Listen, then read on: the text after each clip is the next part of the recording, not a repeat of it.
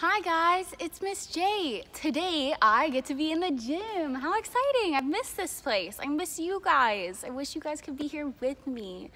Anyways, I don't know if you have ever wanted to learn how to bowl in your own home, but now you can, okay? So the items that you're gonna need for this are you can either, I'm using pieces of paper, so you can use pieces of paper folded in half like that.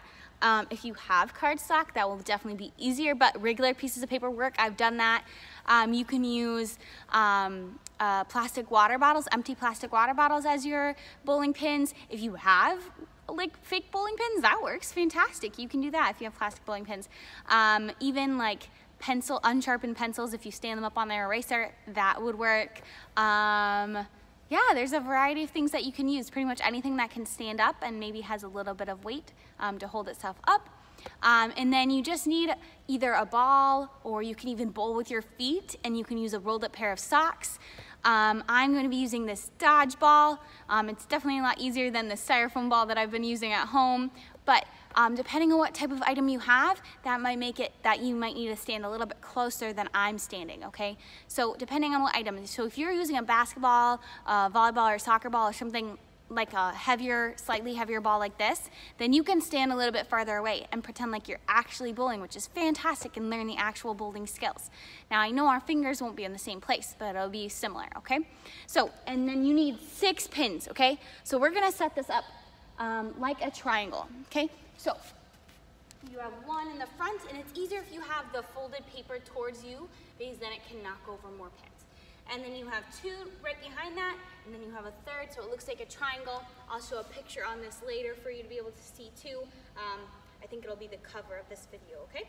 And then if you can, make a line or have a line in your house that you can bowl on so that you know how to bowl straight. Okay, so I've got this line in the gym that I can use to bowl on.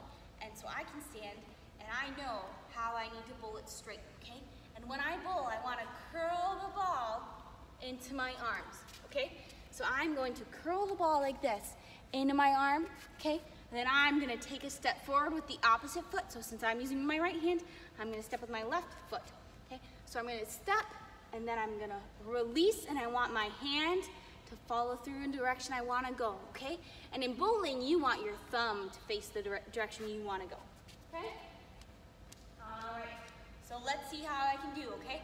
So I'm gonna bowl, Oh, I got a couple. I got four out of the six. Nice. And so I can bowl twice, and then if I knock all of them down, then I get a spare, okay? And if I knock it down all on the first try, then I get a strike, okay? So see how good you can do. And then um, how we do it in real bowling is that we have 10 frames. So 10 times that you can bowl, um, and technically you can have about 24 try or 23 tries um, to bowl all of this.